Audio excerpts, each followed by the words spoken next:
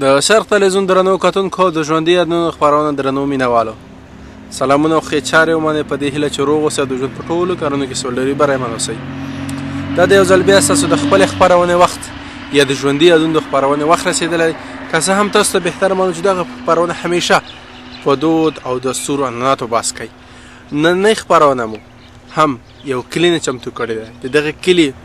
په دود او دستور او رواج باندې غږېدلی په دغه خپرونه کې موږ سره سپینګیري مشران ځوانان هم برخه اخیستې ده دا خپرونه مو د کوچیانو یا د احمدزیو د قوم نه برابره کړې چې دا په ننګرهار کې په یولسمه ویاله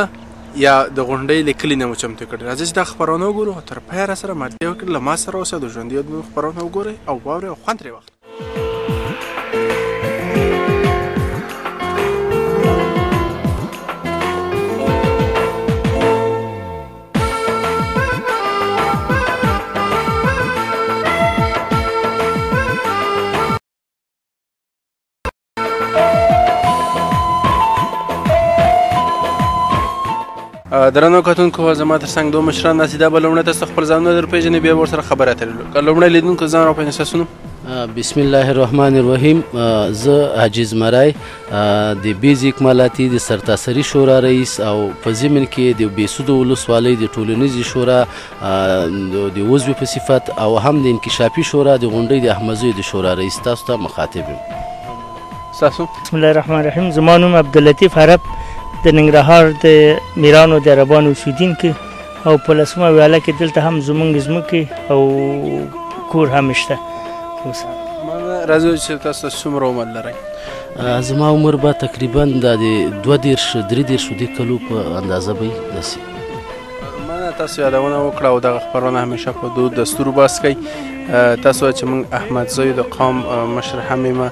راځو په دې احمد زوی غږیږو چې احمد زوی قوم ته ور احمد زوی قوم وي او د کوم ځای سرچینه غستی ده او که په دې اړه مکمل معلومات درنو کتونکو ته ورکړي تا ډیره ښه مهرباني وکړه چې احمدزوی کې دودونه رواجونه او خصوصا په ټولو پښتنو کې د احمدزوی جرګې متبرې جرګې ګڼل سوي دي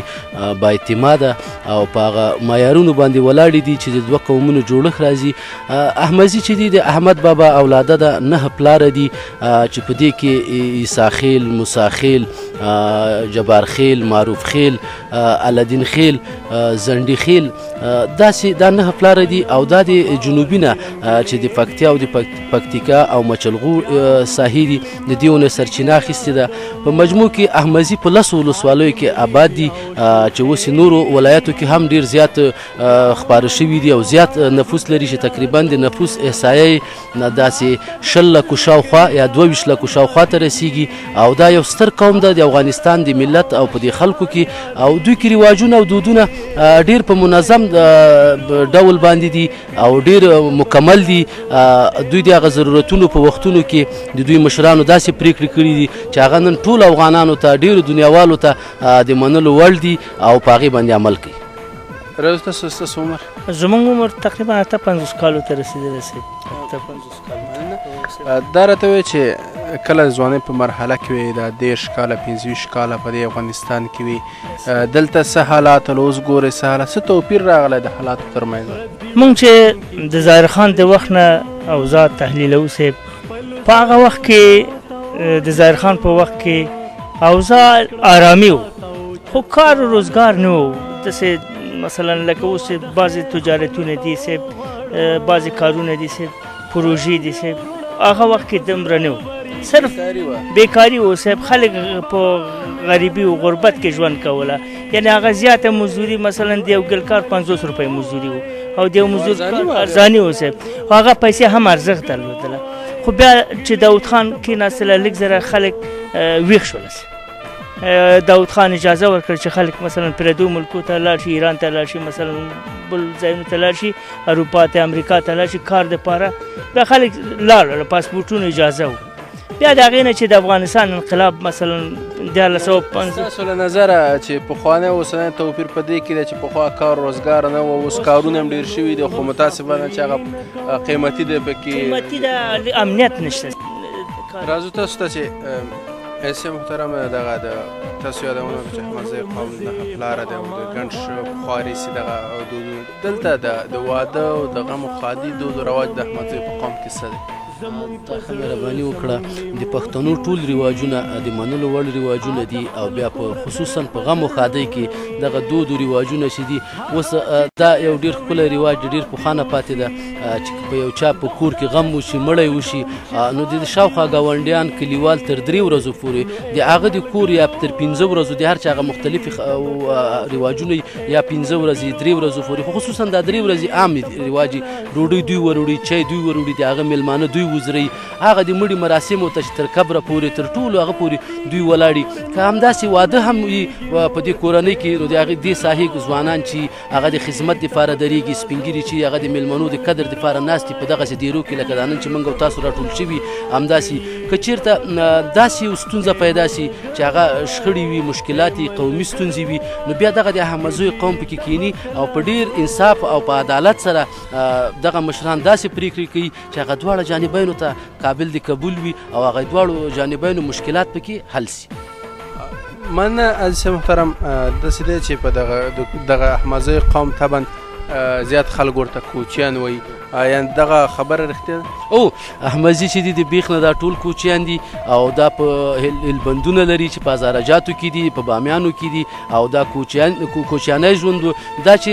دا د افغانستان ټول خلک د پخوانه په داسې شهرونو کې نه وو دا په غرونو کې وو غرنی ژوند لرو د کلیوالي ژوند لرو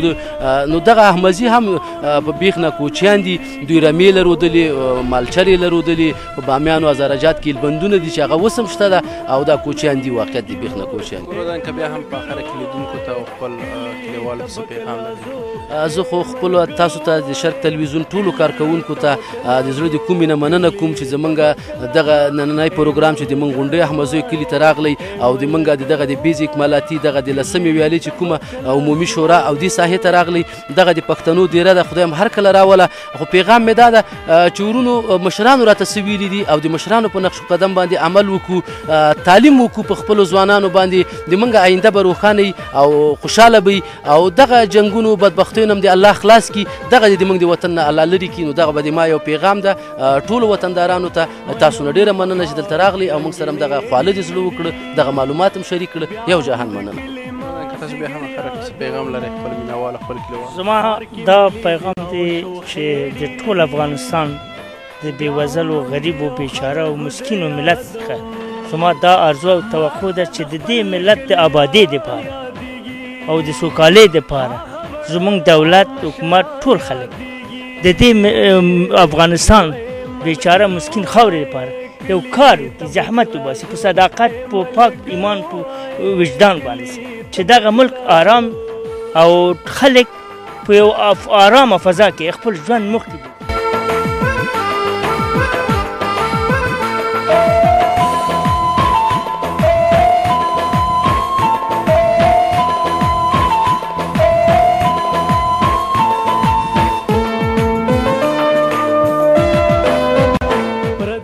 درنو کتونکو بیا هم درته رکلی کوو په همدې سیمه کې د دې سیمې یو بل مشر زموږ تر څنګ ناست دی دا به لومړی تاسو خپل ځان در وپېژنئ بیا ورسره خبر کوي که لومړی لیدونکو ځان ورباندې سو زما نوم انات خان د غونډۍ د اخمزوی د کلي اوسېدونکی څنګه یې والا ښه یې ته ښه یې جوړې دارې ده ښه په خیر یې د خدای رحم ده پخوانی چې موږ د ستاسو کلي ته نه ورور ډېر خوشحاله سوي ډېر خوشحاله چې تاسو راغلی او د موږ د دیرې ته د غریبانه جی ته راغلی او موږ هم پوښتنه وکړله په دې موږ ډېر خوشحالېږو ډېر فخر کوو کله دی داسې فکر کې ګرځېدلي وو ځکه چې زه به څوک به راشي ما سره مرکه وکړي او زه به ورسره د خپل د سیمې دود او رواج د تېر ژوند په اړه خبرې کله داسې ذهن کې ګرځېدلي وو یاره دا مخکې خو دا ذهن کې چېرته ګرځي خو دا اوس دا خدای تقدیري راوستلی و پوه نو موږ نه پوښتنه وکړله موږ په دې ډېر خوشاله راډیو دې اورېده راډیو تلویزیون کله ګورې یاره د راډیو خبرونه خو ما اورېدلي او تلویزیون سره دومره هغه هم نه لرو اورېدلی نه په خپل د هلکانو غږوي خو موږ ولاکه دومره ورسره هغه کړي دي خپل ځوانیتوب یې ستا ځوانیتوب کې خو تلویزیون بچی هلته نه و هېڅ شی هم نه و هلته وروره بس دا خبرې تلویزیون نه و راډیوګانې کمې وې مثلا چې کله به هغه وخت کې یو ښار ته پېښور ته یا کابل ته راتلل خلکو چې تلویزیون دی نه پر فکر هغه وخت تاسو فکر کوم یاره نو د څه د څه ډیر خو راتلم نه کنه او یعنی دا د څه هغه به چې د خلک ورته او د ټلویزیون ته ورادو ته ویل پلان کې د څه ورادو بیا کړی دا څه غږی دي کې خلک دا ډیر باغ کول وای دي کې تو درګه سړیب کې کومل ته دي دا قسم ذکر دا چې اوس درته دا زمون کامرمه چې مخامخ ناس دی کنه ده یوه ورځ ویل وای زه چې کله پېښور ته لاړم وای د تلویزیون کې مې چې نفر ولید وای زه یو تلویزیون شاته لاړم چې دا نفر چیرته دی دی چې دلته ښکاري دا کیسې سوي دلته وای داسې دا هغه دا یو کوچی وای دا کابل سینما ته تللی نو هغه سره دا ډانګ هم نه ویستلی خو هغه کې هغه پلوسان او هغه څه وو که نه هغه ډرامه پکې وه دا څنګه تل هغه خو ټول د سټ کړي که نه وای دې ډانګ یې پر غونډه پرده مرده یې غونډه کړې وه ورانه کړې و نو اوس د اوس خو خسول داخل ډیر هغه سول خارج ته لاړو افغانستان کې هم ډیر پرمختګ باندې وکاو خلک خسو اوس سیوا تر مخ کې سولو هغه کوچی تو به واغه اوس ډیر خلکو پرخې دي نه په خو وختونو کې به چې تاسو مثلا خلک وای چې کوچانو رمې چلولې او ځکه چې کوچانو دا دود د سور هم درلود چې که څومره زمانو به نه پرې خو تعلیم تعلیم ته ځکه چې زما نیکونو دا رمې چلولي تاسې مو چلوي اوس مهال خو طبعا چې موږ هم ګورو لیدونکي به هم ګوري چې ځوانان که د کوچی وي او که هر څوک یې تعلیم ته ډېره مخه کړې ده او تعلیم درس وایي تعلیم کوي تاسو چې کله هغه وخت کې رمې چې تاسو ته نیکونو پلرونو هم دا خبره ته کړو چې رمې مه چلاوئ رمې وچلوئ مکتب مه وایئ او که نه تاسو ته وایي چې مکتب ووایئ صاحب که رښتیا درته مکتبونه خو نو خو ټول د ډاګو د دشتو خلکو نو هغلته نه مکتب او نه داسې هغه خوار یو هغه د خپلې مېږې ته واښه راوړه او پاڼې یې وکړه او ویې پیایه او البندو ته یې بوځوه سم هغه ته وښو ته یې واړوه نو همدغه هغه داسې مکتبو شوق هم نه و اوس د مکتب شوق ډېر پیدا سو خلکو سره چې رمې یې ورکې کړلې اوښان یې ورک کړه اوس نو ټول وروره مکتب ته مځکې یې پیدا کړې او یو خپل روزګار یې روان کړی دی بله داسې ده چې د کوچیانو زیات داسې په دغه خبرونه مې شو په دغو دستورو ویل چې د کوچیانو دا روا چې بدل ډېر کوي یا ورور ډېر رښتیا دا خبر رښتیا او اوس ما که رښتیا اوس ما هله همغسې ده که نه څه توپیر یې موندلی یاره دا د بدل کار خو مخکې ټول دا د بدل کار ورورونه او بدل به یې وکړه سره او داسې و چې دغه موټر او دا ودونه خو به یې و موټر به نه و هغه هر څه هغه ناوې او د هغه به په اوښان وی خو هغوی به هغه اوښ جوړ اوس هغه موټر جوړېږي مخکې به اوښان جوړېدل او ګلپوش به یې کو څونډي به پکې ځوړندو یاتي به وروره ډولونه به وه تڼونه به او ناوې به په اوښ باندې راسپره کړو نو هغه هغه به ته به یې کور ته به یې وړله درې ورځې مخکې به اتڼ خلکو شروع کړ چې بس اتڼونه به سیلونه به اوس هغه شی اوس موټر پیدا سو اوس دومره غم نسته او خان اواز طبعا شابه په پوته کنه شابه په پوته بیخي به واده تم شابه چیرته چې شابه ک ما خام براغه هغه د ویناوی به ورته راوړو ما هغه خیرونو کالو کې شاتوب نو نو دومره او دومره غنو دا دا اوس دغه تغیر چې راغلی مثلا په خوا به مثلا وخوانو باندې ناوي بي ولا شاو پاس یا په پوت و چې دا د موټر رواج راغلی ستاسو نظر دا ښه کار شوی او کنه دا ډیر ښه کار دا ټول په پرده او پایا او په عزت کې سو هغه خو به د سیالو وروره چې وس به نه کېده او بس دا ده چې په اوښ به یې راوړل او که وس یې کېدل چېرته د سیال کېده هغه خو دا غوښ کوچنی و خرڅه ډیر چې وریږي او لرګي او دلته بغیر وخت به څومره مصارف اغستل یاره نو مصارف خود سه د چې دا ډیر زیات مخکې خو بد شو چې په یلبن ته بلاړ نو 200 300 وخت کېږي او خیمه به ولاړ نو چې واده به کاو ډیر غټ تاوان به بیا به مالداري خو به خپل او کدل ته براغله په جلال آباد کې به کول نو زمه بدل ته وړې به یلبن ته قتل نو کدل ته وای خدا ټول دا کوچان خو ډیر لوی قوم ده نو بیا ټول وروره لیو جو بل جل کابل او لوګر او هغه نه به راوختل بامیان نو اوس هم هغه رواجونه سته خو خیر اوس خو هغه پیدا سو اسانتیا موټر دی دا کوچانو کې مثلا یو احمدزی قوم دی کنه د کې بیا نور قوم نشته کنه صرف د احمدزی قوم نه اخمزی خو داسې ده چې اخمزی پلار پلار اوس لکه نه پلاره دي موسی خیل سلطان خیل جان خیل دا اوس داسې ده چې عیسی خیل نو دی کې ډیر علادین خیل دی کې ډیر دا پلار پلار خو ټول یو مزه یادېږي خو دی مزه کې بیا پلار پلار دي ټول رواجونه څنګه یو شان دي کنه جدا جدا یو شی دي او مزه یو شی رواج ده ستاسو له نظره چې ځینې خلک ځوانان دي او ځینې ماشومان دي پلرونه چې ماشومان خپل درس او تعلیم ته نه پریدي هغه ځوان د ستر هغه ته څه پیغام لري څه ویل لري یاره مون خدا پیغام لرو چې ویلیږي درس پیوای تعلیم پیوکي چې آینده ته نه سړی جوړ دا مخکې عمر خو اسې چټي لکه د حیوانانو ټوکې وي اوس چې دا اوس باید چې هر سړی خپل عیل تعلیم ته ولګي او تعلیم پې وکړي تعلیم ډېر ښه لکه ړوند انسان چې بنا سي دغومره هغه ده چې ړوند بنا کېږي اوس موږ دغلته لاړ شو لوحې ته ګورو ورته پوښتنه کوو او که لوحې ته وګورو خو دا ولا پلانکي کور دی پلانکي ځای ده پلانکی چوک ده پلانکی دکان ده موږ په دې باندې نه پوهېږو خو هغه اوس هغه آینده فصل چې راځي دا چې باید چې درس او تعلیم وکړي چې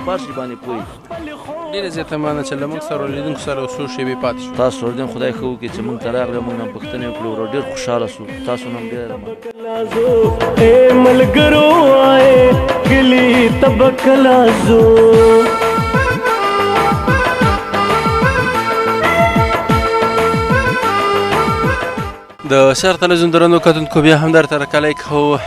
موږ په همدغه سیمه کې یو د دې سیمې نور مشران زموږ تر څنګ ناست دي دا به لومړی تاسو خپل ځانونه در پېژنئ بیا به ورسره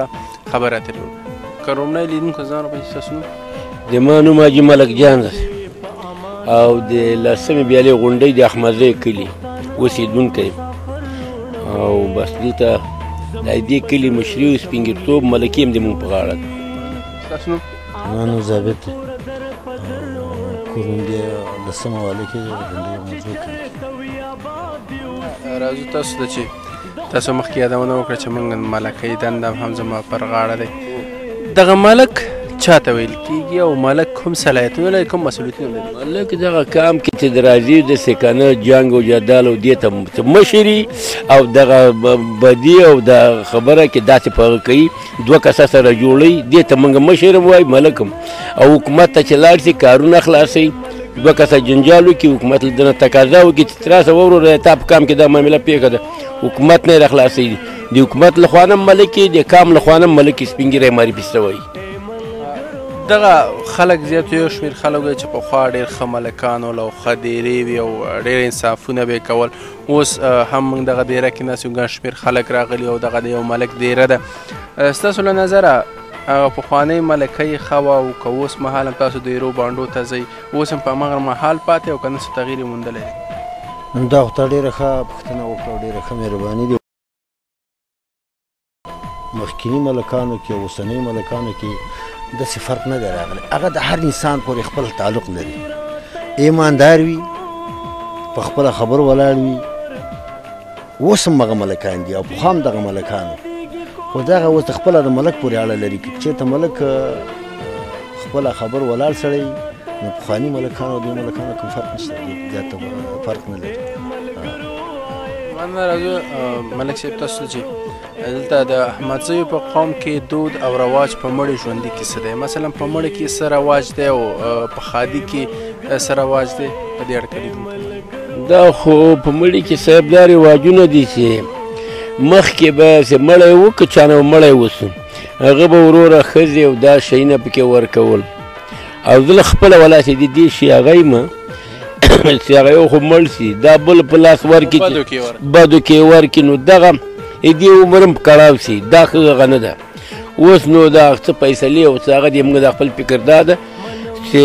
دې ته وایي زری روغه چې په زری روغه پیسو نغدو پیسو باندې خلک جوړیږي هغه ډیره ښه ده او هغه د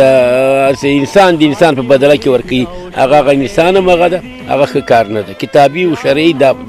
ناروا ده راځو تاسو ته چې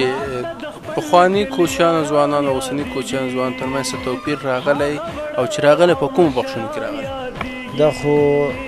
داسې راغلی دی چې پخوا دا خلک وو په غرونو کې اوسېدل مالداري ډېرې لرودې قوي مالداري لرودلې او اوس دغه مالداري د کوچانو زیاتره په سلو کې لس فیصده پاتې ده دا نوي فیصده چې غونډي بې مالدارۍ دي او دې ژوندون په ښار کې تېر کړ تعلیم یې وکړ تربیه یې وکړه خلکو حالات یې ولیده نو کوچانو په خپل علم باندې منګولې خخې کړې دي دی مزه یې ولیدله چې په دې علم کې غټې ګټې دي او دې بي سوادۍ نه په دې دغه ته کوشش وکړي مطلب راځو تاسو ته چې چې دغه په زیات یو سیمو کې دي پښتنو سیمو کې داسې دي چې